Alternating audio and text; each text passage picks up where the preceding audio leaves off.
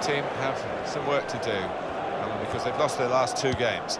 They've got home advantage. They, they need to win today. Yeah, they do. Bit of pressure on them in front of their own fans, but uh, I fancy them to do it here, actually. Ander Herrera, and he scores with the header. The goal from Herrera.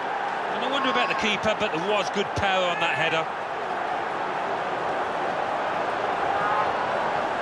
And here's the goal again.